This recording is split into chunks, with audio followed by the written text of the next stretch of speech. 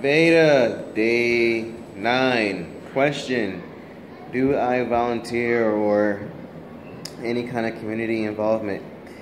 Um, as far as the community, my community around my job and where I live, no.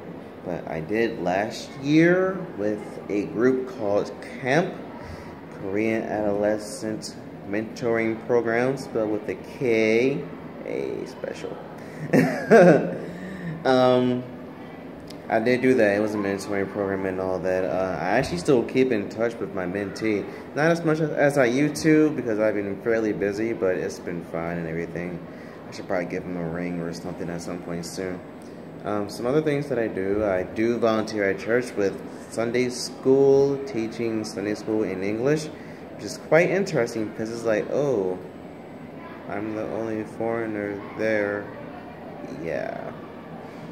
So, I do that. I've been doing small little things for that. I should probably get working on the next plan for this Sunday, actually. And I also, yeah, yeah.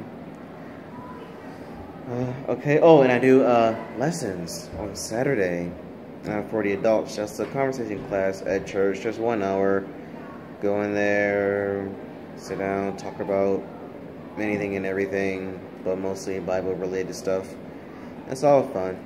Yeah, it doesn't bother me too much since they've done a lot for me since I've been here, so I don't know how to react to it. Um, yeah, it's a bit overwhelming sometimes. I feel as though. But uh, yeah, that's about as much volunteering as I do right now, and I will see you guys in the next video. Peace.